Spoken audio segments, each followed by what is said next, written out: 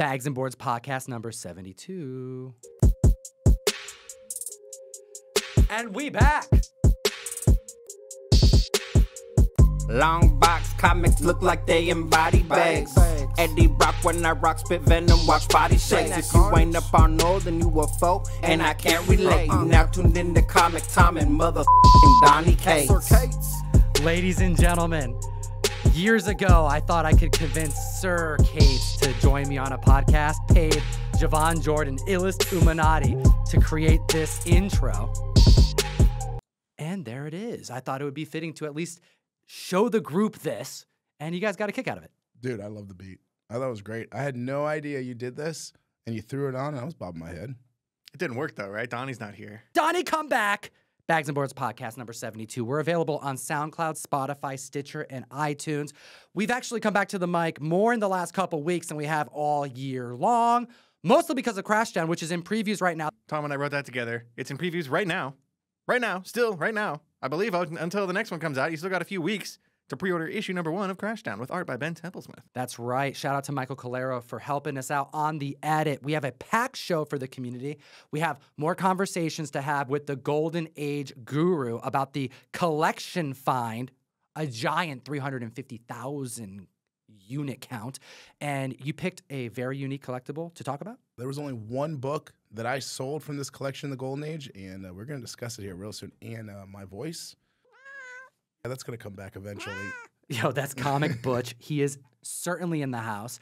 We also are going to chat about the writer's strike and how that possibly can affect the comic book collectors market. There's a lot going on. We also have a comic book that you need to not cancel. Butch has strong opinions on that one too, so you'll have to stay tuned. Butch says cancel it. The first thing I want to get to, though, is a giant, massive sale. And we got to take you back just a couple weeks. I got GPA pulled up for a reason.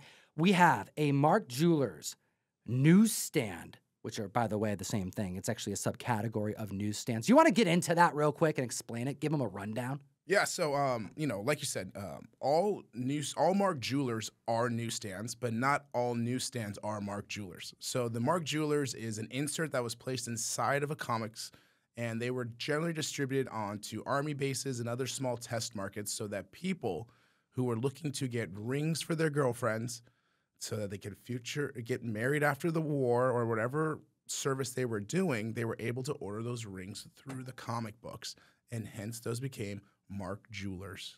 Upwards of 5% of the print run is suggested and predicted to have been created back in the day.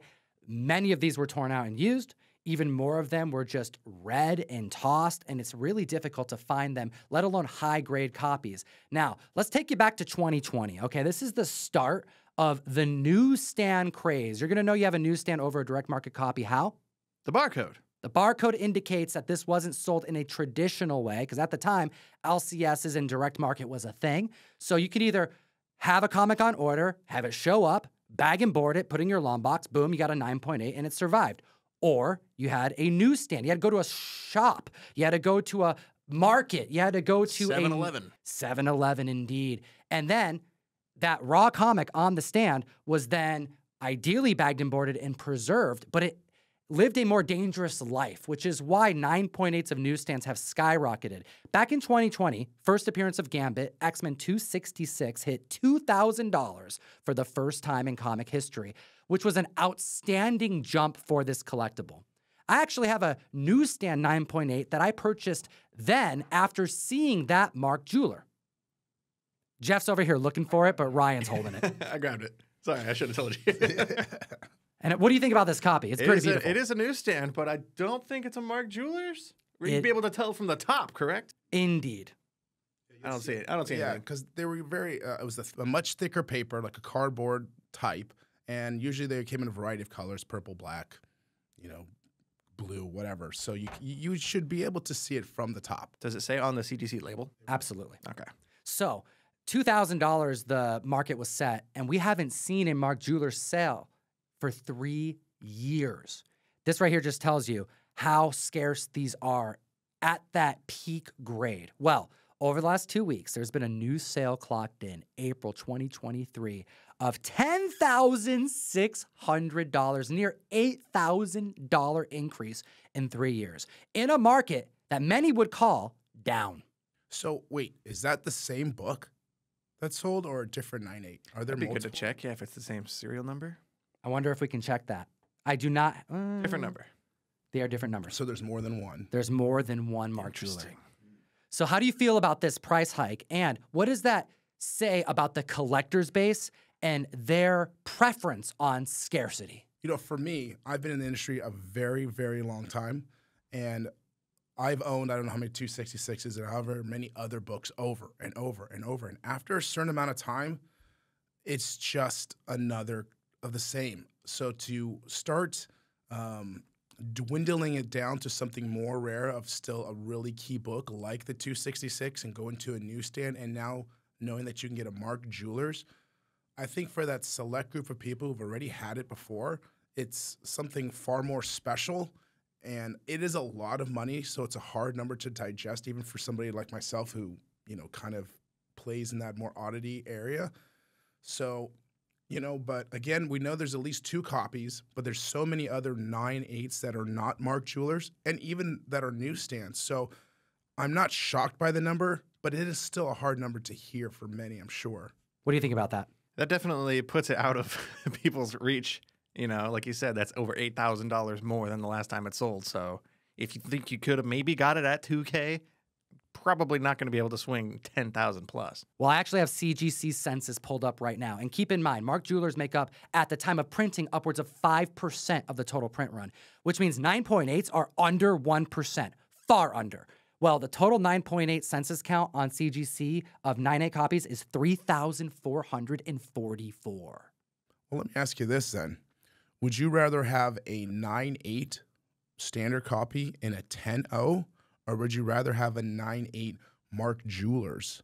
That's a great question because according to the census, there are zero 10.0s in existence. However, there are 15 9.9s. So I'm going to kick this to the community. What do you think about Mark Jewelers versus a higher graded 9.9? Because you're getting awfully close to that like similar comparison in percentage. And I happen to have GPA on here, and we have the last 9.9 sale taking place back in 2015, where it sold for $3,228. So it sounds like the market speaks because if that's a 9.9 just regular copy for 3000 plus dollars in 2013, I mean, maybe there wasn't 15 copies at the time. I mean, you just said a 9.8 uh, Mark Jewelers only sold for 2K. Right.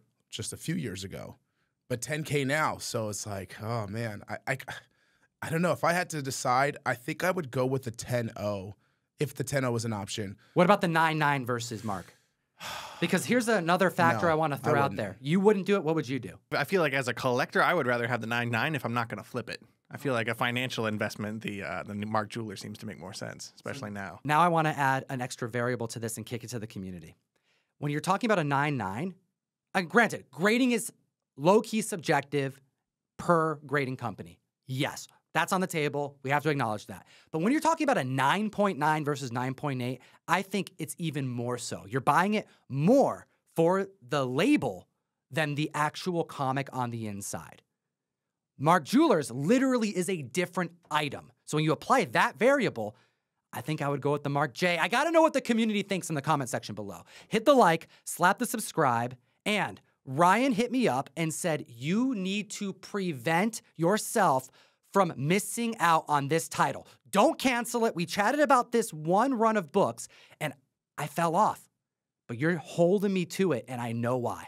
I'm holding you to it in spite of uh, a lifetime disinterest in this character too. We're talking about the Hulk, and speaking from 100% honesty, the Hulk is a character I have never really cared about before, at least up until reading Immortal Hulk by Al Ewing in 2018. Have you read Hulk prior to Immortal Hulk? I did, and I read something that I loved.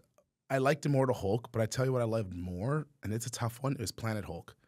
Planet Hulk, like I don't generally read superhero books. I like to read the non-superhero stuff I tend to enjoy more. But Planet Hulk was so amazing and captivating that it took me to World War Hulk and all the side stories on top of that. But Immortal Hulk, is again a very interesting take on Hulk and was very captivating and fun to read as well. And there was a pretty big gap in between Planet Hulk and Immortal Hulk as well. So you were off the Hulk train and then back on because of Immortal Hulk, similar to Ryan, similar to myself. Another recommendation of Hulk stories is the Infinity Gauntlet crossover, by the way. Hulk turns into a it's actually courtesy of Thanos when they're fighting on Battleworld for the first time. Thanos like shrinks him, so he's like Ant Man size. And there's a whole narrative where he's like just chilling with Abomination, and Abomination thinks he's God, and that he's talking to this like higher power the entire issue. It's a it's a single issue that has stuck with me for so long. But I digress. We're not talking about that book. We're talking about the Hulk because once Al Ewing passed the baton, who did it go to? So yeah, once Immortal Hulk reached its 50 issue mark, they announced that the uh, the new creative team, the new creative team being Donny Cates and Ryan Ottley on the art. At which point, I I couldn't cancel the book. I was gonna give up on the Hulk because I figured there'd no be, there'd be no topping Immortal Hulk and Al, what Al Ewing was able to do with that book.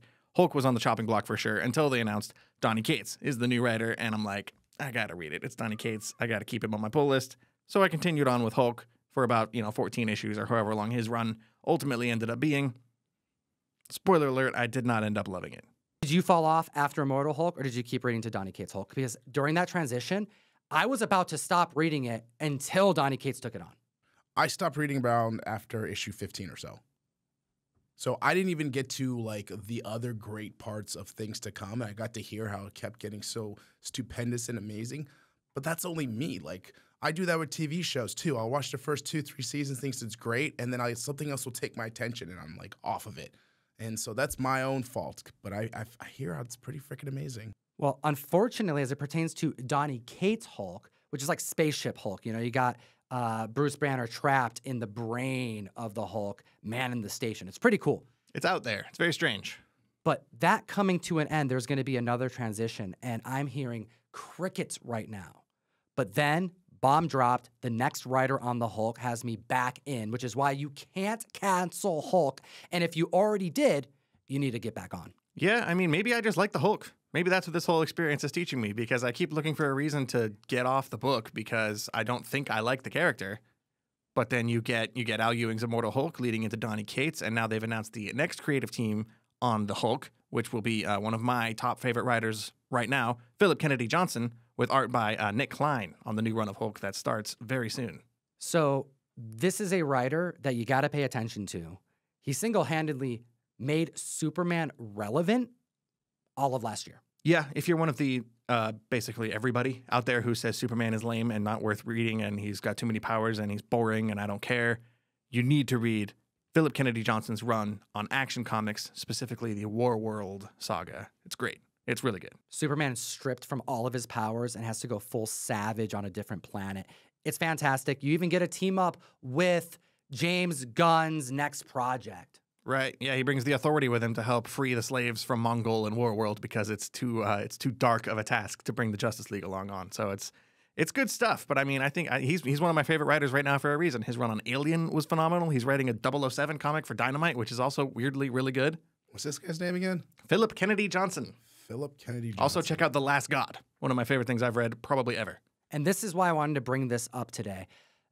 So many of the comic reader community is focused so much on the IP. I'm reading Hulk. Hulk's not that great right now. I'm moving on to something else, or I'm just pulling it off my poll list. The better way to go about navigating the waters of like what's the next comic you should read, it should be less about the IP. Yes, if you have a, a liking to a character, follow your character. I'm not saying, you know, don't read what you, you know, already love, but you have to give a added layer of attention to the variable that is the artist and writers because when they come together and do something they're typically taking on things that is available and sometimes that availability makes something spontaneous it makes something great i.e superman i.e what could be the hulk I mean, yeah, like you, when you mentioned the artist writer combination, I mean, are you kidding me? I mean, you had the beginning of an amazing story with Immortal Hulk, but the captivating artwork of Alex Ross, who just crushed all these covers. I almost bought a cover. All right, I was this freaking close in the beginning to getting one, but I didn't quite read the story yet. So I was like, uh, I should probably read it. And um, I mean, I look back and kick myself for it. I remember being at San Diego with you in Chris Rupp's artist booth, shout out, and that's where they display all of Alex Ross and Bill S's art. And you were looking at that stuff for quite a long time. I was, I was, man. He was hemming and hawing. Are you canceling Hulk? And I want to see some like participation in the comment section. Are there writers and artists that you follow regardless of what they're creating and taking in new IPs that you may not have otherwise added to your poll list? Give some recommendations in the comment section below. And I got a surprise. I didn't tell either of these guys about this. We have something that was mailed in from CBCS. They contacted me and said, Hey, I want to send you something. We have a brand new product and we want to get your reactions. I actually have it right behind me. And you'll notice it's completely covered in white to protect what's on the inside. I have yet seen this. It's not lying. We do not. I do not know what this is. I have no idea what the hell he's about to show us. This is the brand new magazine holder, courtesy of CBCS. And oh, what a cool book to send me in it. I'm holding Swamp Thing Green Hell number three, John Constantine, Dead Man, Animal Man appearance, and, ooh, spoiler alert, the death of Constantine. In this alt reality dystopian future, we have an amazing run that you need to read, by the way. But we have a brand new case. And now I'm to actually hand this over to Jeff because I want to get your first reactions because CBCS is known for having very sturdy cases, a lack of Newton rings, which since like we've started doing a lot of stuff on whatnot, I've had a lot of members actually reach out, and Ryan, you can attest to this, asking questions about these glares on some slabs they've gotten elsewhere because they've never experienced Newton rings before. Yeah, I'm definitely in those DMs on the whatnot account, and that has come up. But yeah, it is a thing that happens with slabs. Newton rings is a whole subject I feel like we got to cover at some point, but We really need to discern the difference because people are putting Newton rings as a blanket statement, and it's not all the same thing. A Newton ring was one thing, and then if you're talking about the inner well maybe coming close to your comic and creating like this oil look, that that's something different. So like everyone needs to just kind of chill, take a second, figure out your lingo, and not just blanket statement everything. Newton ring, Newton ring. It's it's not the same thing, and we'll get into that some other time. But first off, let's first talk about the garbage magazine holder options we used to have. CGC's old magazine holder was trash. It was really Freaking bad. Trash. Not even recyclable. Not even good enough to recycle trash. It was just garbage, and it would break. I would say thirty percent of the time. Give me a solid. in right behind you, there is a Reggie Collects guide to smart comic collecting, and it it hit a, one corner. It hit one corner barely. Whole thing shattered. It's garbage. Whole thing shattered. Um, and also the label because the slab was so big, it's like wobbly. So it's at like a slant as well. Um, it's a nice like CGC graded book, though it looks like a regular CGC book. But we're not comparing these today because CGC actually has a brand new magazine holder as well. So we're gonna get one of those in and do an accurate comparison. But what are your like initial reactions to seeing this brand new case? I love it. I love it. It still needs to have the quality of plastic that CGC has, but the holder itself, oh, I freaking love it. It's like uh, it's very sturdy, very rigid. I tried to just bend it just now. It, it gave no flex.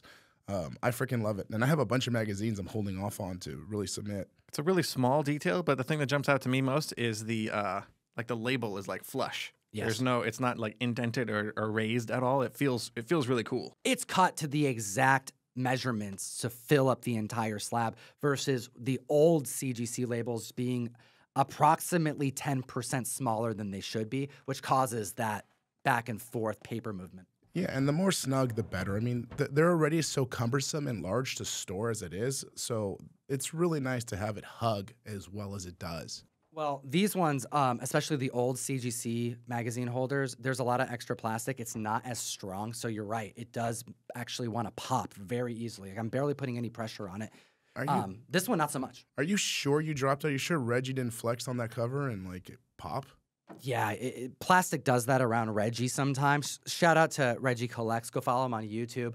Um, I, I'm digging this. You know, even I, I will go as far to say this. The label itself has always been my biggest complaint about CBCS, as well as like pretty much every member of the community for over five years, and how they haven't changed that is beyond me. But what I will say is the quality of the case being this nice has definitely improved the look of the label, which I don't know if that was a possibility if I were to have been asked prior to seeing this. Like I would assume it would be the same. But doesn't that actually look really good? It, it looks great. And the one thing, just to give CBCS a, a fair, um, you know, take on it, the labels and the holders are always better in person. Yeah, Um, so true. I know we give the labels sometimes crap, but when it's in person, it actually always feels and looks better um, than as we generally, you know, give it credit for. I got to know in the comment section below are you getting magazine slabs done? Because it costs a little bit more. So I got to know what you're sending down and why. Because a lot of people, like myself, like to grade the magazines because I don't have a magazine long box or short box when I need them. And I end up putting them in long boxes that they don't belong. And then they get messed up upon movement. Or are you grading it because it's spec worthy? And if so, I got to know what you're specking on because these cost a bit more to get done. Yeah, and then the biggest hurdle, really, um, even when you get them graded, is you still have to put them sideways because there's no boxes unless you guys know of a third party company that makes it that's going to hold a, a CGC or CBCS graded magazine comic. If you guys know, please comment down below, let us know. But it's long overdue. I would grade far more magazines if they weren't so cumbersome to store. I want to throw this out there too. I had an idea for a video and I want to know if you want us to film it. I purchased and it's on the way a short box that is being labeled as fireproof. I'm thinking what we need to do is maybe put some damaged comics in there that otherwise would have to be destroyed, you know, per publisher agreement, and see if it'll hold up to the flames. What do you think? You should put some really valuable comics in there to see, just Oh, to just make to it piss exciting. everyone off? Just put a Hulk 181 in there raw and be like, "Is it fireproof?" Dude, Jeff has a plethora of them, and I don't think he needs them all. He's got a whole bunch. Yeah, let's crack a slab or two and three, maybe, and four, and we'll throw them in the fireproof box. And Listen, you this was a great idea. You had fire, you had comics, and I'll tell you exactly where it went south when you said you're going to throw in one of my Hulk 181s. so it's not going to happen. But yes, we should play with fire, we should play with comics, and we should figure out if this is as fire retardant as you claim. All right, let us know in the comment section below and hit the like button while you're down there. We need your damn support. The podcast is back. Oh, and I'm feeling it. So, over this last couple weeks, we had a major industry shakeup as it pertains to big media. We're talking about movies, talking about television shows, streaming shows. There is an entire writer's strike that's happening. And the last time this happened, I still remember when it did because it was like between, I want to say, Office season four and five, may have been three and four, like one of the two. And we didn't get Office for over a year. And this is like my favorite show of all time. Imagine how I felt when it was coming out. I was waiting every single week. Changed my life. And we had not just a delay of four months in production, the timer starts once they get back and then they get back to work. So a four month delay can equal upwards of a year delay of things actually being seen. And that's a television show, let alone a movie that may take even longer. yeah, there's another writer strike happening right now. And yeah, like Tom said, last time this happened was 2007. I want to say, yeah, I think you're right. Season four ish of The Office, which in my opinion is when the show started to go downhill. That's about when I stopped loving The Office, unfortunately. It's also season four of Lost, which is when that, I think that's that show's weakest season as well. It's also the shortest. Anyway, that was one of the actually solutions they had to the um, to the problems created by the writer's strike was just shorter TV seasons overall. It's, it takes less time. So, what's going on right now? Because the main thing that we're hearing about is the incorporation of streaming services being the dominant way that profit is made from these industries. And how could that relate to the comic market? Classic situation, right? We're talking about a socioeconomic issue where you have the bosses up top, you have the people down below, and people not feeling like they're getting enough money in. But we also have to kind of look at some of this bigger picture of what's happening in um, film, period, and t- television. So with comics, yeah, we're going to get delays. All right, we will get delays. And not only that, we got to worry now. If you have a delay with a show and you have an artist tied to, or like when I say artist, I mean an actor, um, what other jobs are they going to have to delay or jump from if they're even able to? So you might even have a larger delay than you think, right? Because like if I'm supposed to time this show right and end so I can jump on my next film, if that's delayed, then what happens? Do we lose an actor that could have been the best for that role, or or not? Yeah, that's definitely a and kind of I would I would almost say an unseen element of the of this writer strike. Yeah, it'll it'll shake up all, all sorts of different crew members on all sorts of different projects, and we'll get different things, different results as a result of that. But yeah, uh, since this is a writers' strike, this affects strictly the uh, the screenwriters of various projects. So since also since the industry knew this was coming for quite a while, there were uh, certain projects that were rushed and submitted before this deadline happened. So we have things like uh, House of the Dragon season two. It makes sense why James Gunn finished his Superman Legacy script just the other week. I was just gonna say that. Yeah, he he he he finished that surprisingly quickly. So uh, those are safe. They should be safe to be able to start filming and, and casting and doing all of the things that don't require writers anymore. However, other projects that are a little earlier in the process, because writing does happen pretty much at the beginning, uh, those are in jeopardy right now. And there are several different movies and TV shows that are currently on hiatus until they can figure out this strike, unfortunately. As it pertains to production that may be being delayed that correlate to comic collectibles, there's only a handful on this list, but some you're gonna recognize. And I want you to think about the key comics that have spiked in the last couple of years that have had ebbs and flows because of delays already, and then compound that with an additional what could be four to five months delay plus production time. We have Stranger Things season five, which we've had multiple occurrences of trending and hot Stranger Things, not just books, but variants as well, store variants, etc.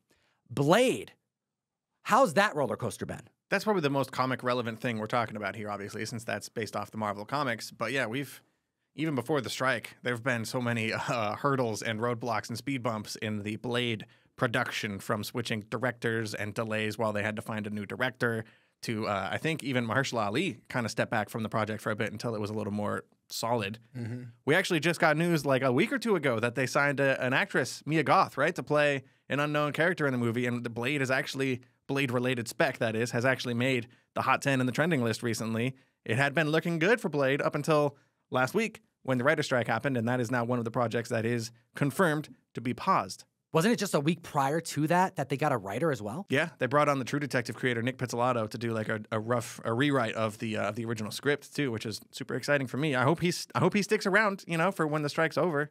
I love that guy. Another big deal that everyone loves Abbott Elementary. That's getting delayed. Cobra Kai. That's another book that was surprisingly trending. Multiple issues, variants as well. MTV Movie Awards it might not be our jam, but if this was in a different time of the year and like this was a different award season, if like the Emmys were on pause or the Oscars or a bigger tier like awards show, I think I think that's a, that's an ill omen, unfortunately. Ooh, and speaking of omen, Neil Gaiman's TV series Good Omens, you know, and he's a comic book writer as well.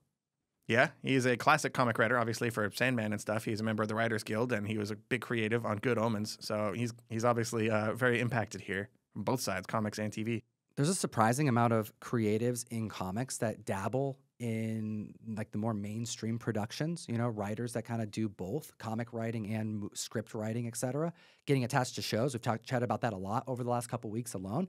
I would assume that those individuals who are not going to be spending much time doing that may look at comic writing as a possible way to have their not just source of income but their creative outlet Oh, that would be interesting. You're saying that they could move from their WGA, you know, whatever title or association and into another industry such as comics. Yeah, one that doesn't have it that also has its own concerns in regards to artists and writers' pay. I'm glad they're striking to get what they are owed. I'm sure there's a discrepancy.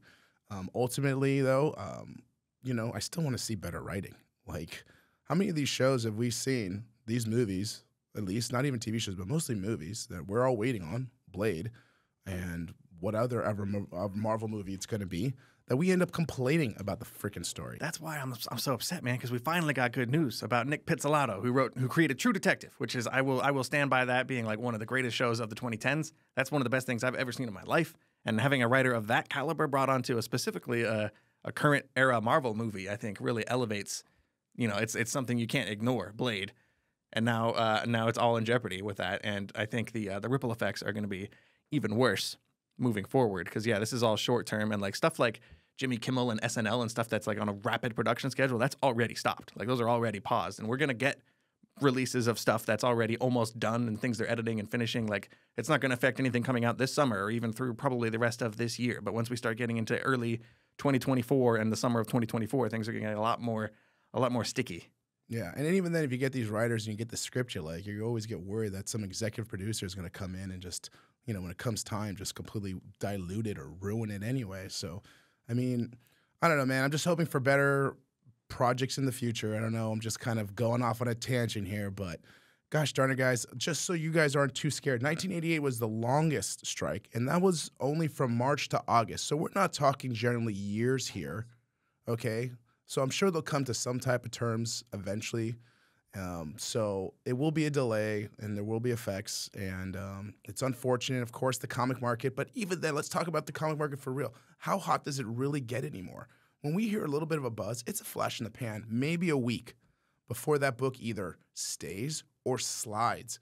Okay, so is it even fair for us to put so much weight on a movie anymore to drive the comic market? All right. I mean, I think the comics can maybe drive themselves at this point. We've kind of seen it plateau. Either the book's good or the comic market's there for the collectors. And yeah, you might get a flash there where it spikes for a short minute, but then it really comes back to reality pretty quickly because I don't know, maybe we're not seeing the huge success in the movies that we're hoping, or that's it. We've There's just a lot going on. Dude. What's There's funny so is many movies. Kevin Feige recently came out and said, like, you know what, we're going to slow down the, the amount of production we're doing. There's too much stuff coming out now, so we're going to put a, a little bit of a break on, you know, on all this stuff coming out so fast. And now they're like, everything's shut down. So I don't think he meant it in that in that sort of way. But I think one of the reasons we don't see as much of a of a boom, you know, an impact in the in the comic market and the aftermarket is because there's just so many projects, and every week we get news about some other thing to make us. Everyone's always switching their focus, and it's hard to stay locked in on one specific book that we see week over week, like something like Omega Man or Last of Us. We were chatting about the binge model and how that has been just horrendous for the collectibles because the hype is just lost. And this writer strike and the concerns that have been put out, it's been very revealing on the creative process. All along the way, as things have changed, more money has been garnered from streaming services, and that hasn't had the the the trickle down effect that you would expect it to to the creative teams putting these on. But additional to that, the way that they produce scripts and stories has also changed where they hire these like writers groups for particular projects and sometimes it's just paying for a bunch up front so that they can then use them later over time at their leisure and because of that you're seeing a lot of quick work happen and it's like commissioning scripts and if those payments aren't like really beneficial to the writers and they're not like trickling down as we're disco- describing as that they want, well, you get what we're left with, which is people who traditionally years ago would get the commercial money and have like solid paychecks from their writing work to now getting dollars. Like literally some of the quotes are like under $10 for streaming air episodes. yeah, for commissions like on the uh, when Like the royalties. the royalties on it.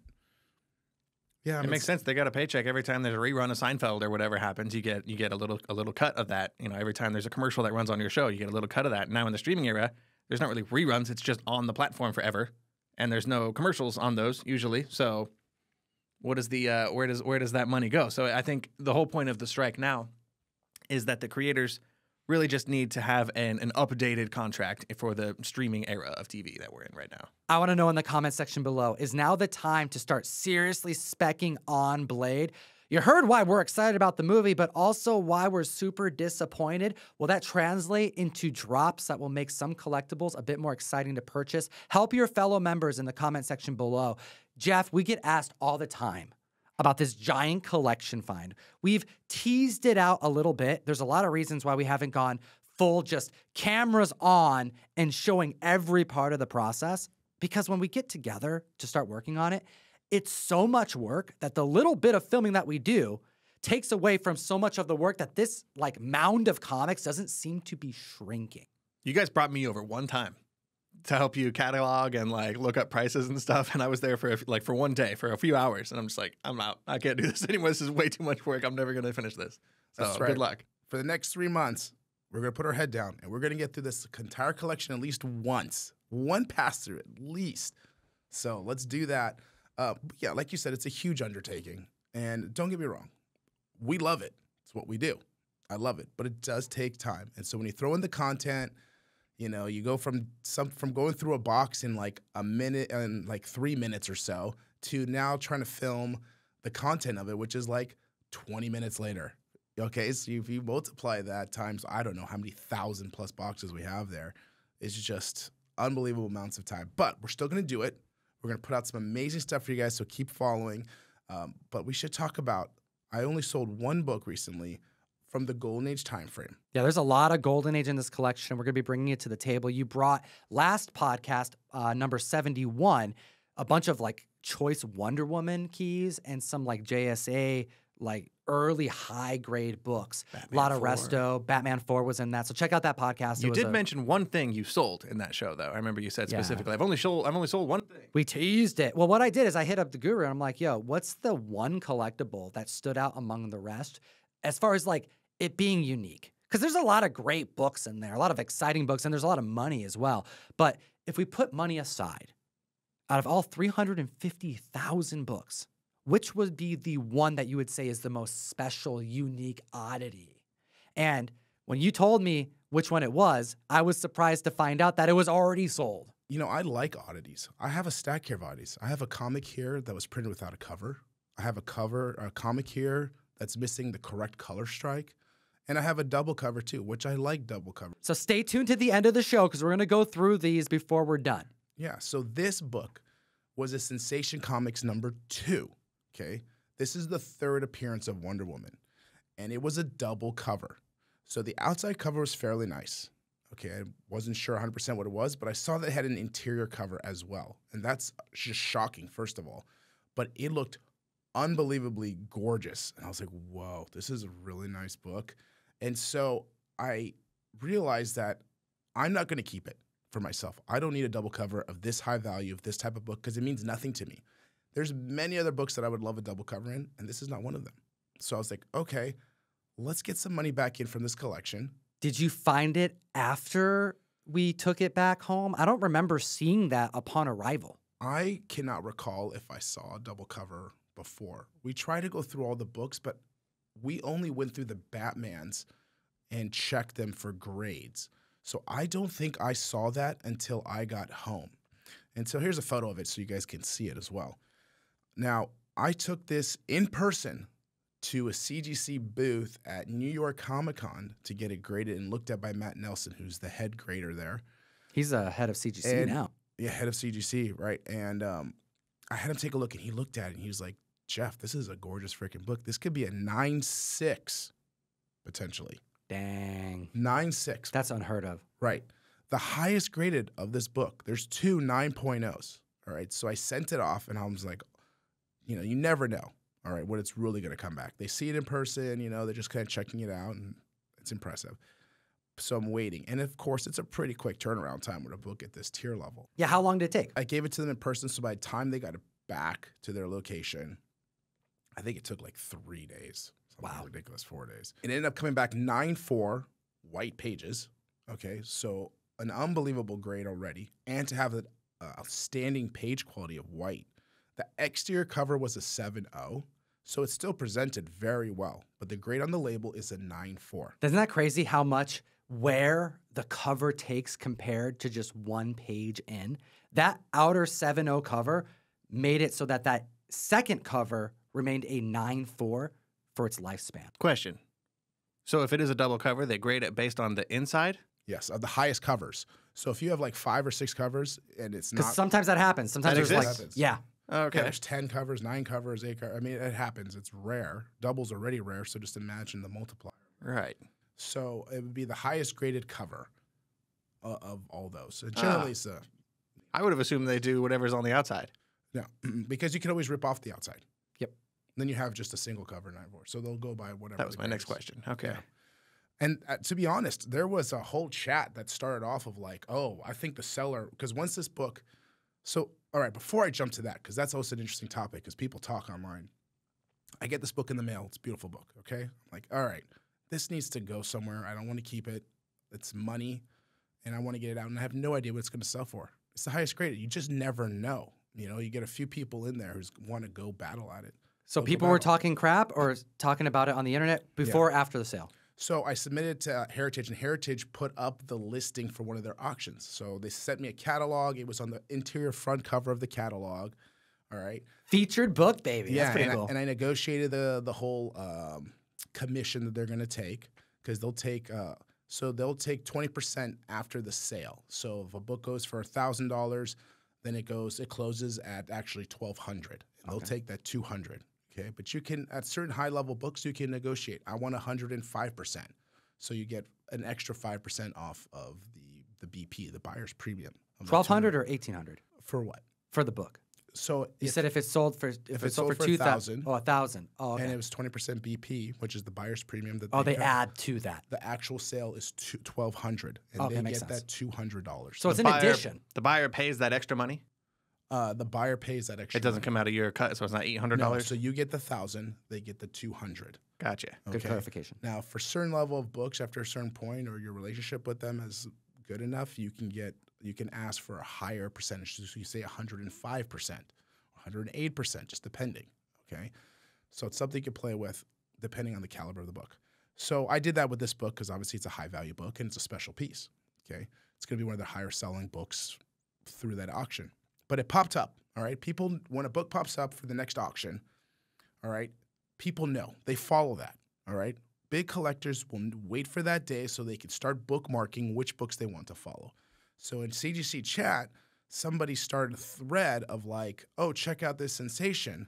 And then it became conversation of, ooh, was it a smart decision to leave that outer book, that outer cover on, or just have it be a lone single cover, 9 4? Okay. And then that started to get me double guessing. And it's like, there, the, a lot of the conversation was, oh, that person's going to just want a beautiful presenting book. You know, that outer cover is really going to Oh, hurt it. interesting. Right. But then I'm like, uh, what are the chances? Like, what am I going to do? Pull it down now, send it back to CGC's to have them remove the cover? And what if the grade now changes? Okay. I was like, I'm, I don't want to take that chance. I'm going to assume that somebody's going to want a double cover because it adds that extra maybe interest to somebody else the double cover market, the highest graded market, the white page market, third appearance of Wonder Woman. I mean, I think it had so much to it that I just, I didn't listen to it. All right. So, and I was okay with that decision. That's such a interesting variable to add because we're talking about a collectible that's so scarce that it's gone past a point to where now it's kind of going the opposite way, where you're losing out on people who would actually buy it for more money because it's too scarce. Yeah. And I was like, listen, if somebody really wants that, they can remove the cover themselves. Right. Okay. I'm, I was like, I don't need to do this. I, I'm not going to overthink it. And that's what people, What would be like the percentage on that thread that you saw people say, you know what, that should be a 9 4 presenting book, not a double cover? uh, that's a good question. And I'm going to go through memory because it wasn't the longest of thread. I think it was just a couple pages and then I just stopped following it. Still a considerable amount for a Golden Age comic. Yeah. I, I would say maybe 50 50. Let me know in the comment section below. 9 4 Sensation 2, double cover, where the front cover is a 7 0, doesn't look as good, but the second cover is that 9 4, or lose the double cover, tear it out, and have a 9 4 presenting the highest grade in existence, Sensation 3. Let me know. And the 7 0 cover was nice. The colors are great. It was a beautiful cover still. No resto. No resto. It presented very well. Lucky there was no resto. There's a handful of resto in this Oh, collection. Absolutely. I, we had a yes, yes. There's there's quite a few books. It could be a whole video. Yeah, yes, it can. Um, and so with that book, it finally went to auction. Okay, and um, I'm watching it, and How long is the auction? You, you could start bidding it. I think up to a month before. Okay, so you can start doing that, and then then the auction goes live. So it stops the bidding. It's you put in all your pre bids, and then the day the auction goes live, you now have to bid live. All right, unless you put a reserve that's much higher already than the live bid. Sure. So then it goes live, and someone's either on the phone or on the computer, and you can watch it. There's uh, when you go to heritage.com, heritageauctions.com, you can see a live auctioneer there on video, and your book comes up, and and you see the numbers increasing, and um, I got to see the book come to the end, and I have no idea where it's gonna go. Okay, I was like, this can go anywhere from let's say twenty thousand to who knows a hundred thousand. Do you remember some of the steps that it took? Like, how, what were the strides like? Did it did it have like hundreds of dollars in bids, and you're like, oh, geez, this may not have been a good idea, or did it start out strong and plateau, or was it just creeping up all week? Yeah, so um, the auction, um, I believe when it went to live was somewhere around twenty thousand or so. What was your gut in like, if it hits this amount, I'm happy. Forty. So 40 is the start. It hits 20 out the gate. How not, you feel? Not out, yeah, not even out the gate. It took time. oh, okay. So it, it creeped takes, up a little It takes bit. all this stuff time. You'll see, like you'll you'll watch these books for a month, all right, and you'll see these numbers. But it isn't until it goes live that you realize how many other people are waiting to bid on an item, especially artwork. You'll see artwork go threefold from where it is. So for the comics, I was like, okay, I'm ex- I'm hoping for more, but it, it is kind of an odd thing. It isn't an ultra key like you know some that most people would expect, but it's got a lot of things for it. And the higher, the, there are people who want the highest graded, plain, just simple as, it, as that can be. Okay, so I just need a couple people bidding at each other to try to get this. And it's and it's the highest by far because it's a nine four and it's a nine zero, two nine zeros. And so um, it starts going, and I'm watching it, and it feels like it, it's going to get to 30 ish, and then it almost like about stops there. And then all of a sudden it takes off again. At what point in the auction is this? This is This is the countdown. Okay, This so we're in countdown the mode. yeah. You're watching it approach 30, and This it starts live. going up the slow. book. Now it's my turn. Lot whatever number comes up. Sensation Comics number two, white pages, nine four, yada yada yada. Giving the whole description of this book, and they're and the clock's just ticking, and people are bidding. I'm like, okay, where's it gonna go? Where's it gonna go? And so it keeps climbing and climbing. I'm like, okay, come on, get to 40, get to 40, at least get to 40. So it gets to 38,000. Okay. And I'm counting and waiting for another bid. Nothing. So it closes at 38,000. But with the BP, it actually closes at 45,600 because it's 20%. So it's another $7,600 on top of that. So I negotiated that. So I'm going to get, I think it was 108%. So I'll get, you know, the 38 plus the 8% of the BP. Not bad. That's like right around target. That's right around target, right? And so I think it, whatever that math is, 43 ish thousand or something for it. Wow. Yeah. So it was exciting. Um, but again, yeah, you just never know because you look at the promise uh, pedigree. I mean, those books went nuts. You know, you just never know what's going to happen at highest graded, you know, levels. By the way, one of our biggest podcasts we ever released was covering that uh, pedigree collection. And that collection came out and sold at the most ideal time in comic history. So um, let us know what you think in the comment section below. You think the guru did well. It's like, how do you even like assess a book sale like that? It's such a crazy thing to talk about such an expensive book, but also when you consider how rare and scarce, like to, to think of where that was for such a long time and that it didn't just get one fold, you know, just that one thing that could have prevented that from being a 9 4. Outstanding. Um, so we have a couple oddities here. I want you to pick just one of them because when we come back in two weeks, we're going to talk about the next two. Just pick your pick one of the three. I'm not gonna look. I'll pick this one because this is one of my f- favorites because I just, I don't know. I kind of like it. All right, pass it over to Fire Guy. Make sure the water's not Oh, around. jeez, you guys are doing this to me again. I like pushing Ryan to try new things. So, what's this worth? Talk a little bit about it. Oh, I have no idea. You don't even know what's worth. Okay, so this is just an oddity. This is an oddity. I just kept it. I didn't care what Oh, they- dude, it's Doctor Strange, baby. This is uh 169. You know what I thought of? This makes me think of the Hulk cover. Yes. Sure. Is that intentional? I'm sure Yeah. it's. It's kind of like that because you have um, on the front, you have Doctor Strange, but then his astral projection. Let me just hold it up so you guys can see on camera. How do you say it? Astral? Uh, yeah, astral astral projection, and then it's gray too, just like the Gray Hulk. Yeah. So instead of Hulk one with the gray Hulk behind him, kind of like you know showing his evolution, we have Doctor Strange and more Doc why, Strange. why why is this odd? Well, I mean, and, like if you just had a guess really quick, what Yeah, do you see. think is off? Like just gutturally, what do you think? These purple colors look off. Yeah, the colors look wrong. Yeah, it's missing a color strike because it's all pink and he's got blue, and I think it's missing. Oh, his his Probably yeah, his clothes. His clothes are wrong. Yeah, so it didn't get hit with, I think probably blue. Weird. So now, On the, The inside too, thing or is you this want- just a I, I believe it's just the cover. I didn't check the inside to be honest. so part of the printing process, they add the colors in, and sometimes one of the colors just won't make it, like a magenta or something. Yeah. Oh, yeah. It You can ran out right of here. Somebody didn't change the color.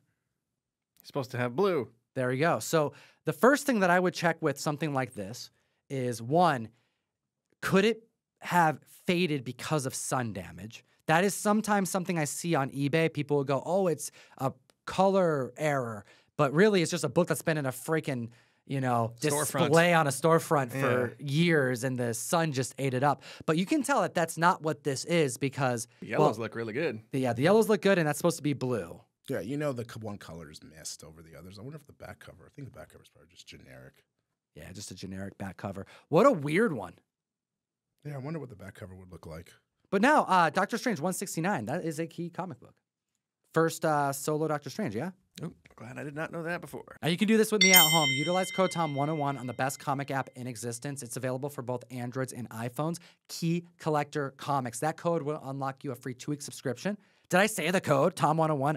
I don't remember. We got to get to searching a character search of Doctor Strange because I want to make sure my key knowledge is on point. So I go to the character search, I type in Doctor Strange. There's a bunch of comic books because Doctor Strange didn't debut in his own title. Can you give him a bit of a rundown how that happens sometimes? Marvel was putting out um characters in certain uh, titles, such as Strange Tales, Tales to Astonish. It's kind of a test market. Tales of Suspense. Tales of Suspense, exactly. Um, to see how. Uh, whether they flourish or not. And so Strange Tales 110 was actually the first appearance of Doctor Strange, and he wasn't even on the cover. So he won't get his uh, name and his own title until this issue right here, uh, issue 169, where it becomes Doctor Strange. And when you go to Key Collector, you scroll down, you'll see this transition here, um, and you can have it omit the non-key issues so that you just get the ones that are like more collectible. And Doctor Strange 169 came out in June 1968. High average sales of 1.4 thousand, formerly titled Strange Tales. First solo Doctor Strange issue, Origin of Doctor Strange Retold. First appearance of Charles Benton, later becomes Asmodeus. Look at that blue. The blue is indeed different. Hit the like, slap the subscribe button. We're going to be back here at the table to talk about a bunch more expensive paper. But before you leave, hit the link in the description. Go to comictom101.com. All you need to do is sign up to our newsletter. That way, we can communicate to our members who signed up who won the giveaway of a show that we do. We have, at the end of this month, a monster giveaway Rhino's first appearance in Amazing Spider Man 41 at a 5.0. You get the book. I need to keep the frame because this goes on the set that we clearly are redoing. Yo, guys, I tried to redo the set over this last week. I spent hours on it. I changed the color to a different color. Right. And I'm not even going to tell you what color it was because by the end of it, I looked at it and realized I ruined the freaking set. You sent me a picture. I'll just have our editors put it in the. We can all see. It was embarrassing. I sat in this chair, looked at the camera, and realized I completely ruined this room, and then had to spend another like few hours redoing the room. We're in a transitional period, comic fan, but it's all Crashdown's fault, which means that it's a shared blame My fault is what he's trying to say. It's all Ryan's fault. Blame It's- Ryan. it's this guy's fault. So go pre-order Crashdown. It's in previews guide right now. We could really use your support. And if you are a retailer and you're interested in doing a retail variant, hit us up on Instagram. Fire Guy Ryan will get you in touch with the people you need to talk to because we have the lowest print run minimums of any whatnot publishing book that's come out thus far. And as always, Geek responsibly. Enough? Said. I'm so stoked about this. Today's the day of the upload, and I happen to be announcing a surprise 1 in 150 variant drop. We have the prolific, the JLA artist, Kevin Maguire, doing an homage to the first appearance of JLA, Brave and the Bold 28, a Crashdown variant. It looks outstanding, and it's a high ratio incentive. No one's seen this yet. Like, if you're watching this right now, you're seeing this for the first time. So take a look at previews, order a bunch of books. If you're a retailer, I hope you order enough books to get this one. And also, have a great day, a great weekend. Have a great life. That sounded a little grim. Just have a great weekend, and then I'll see you on Monday.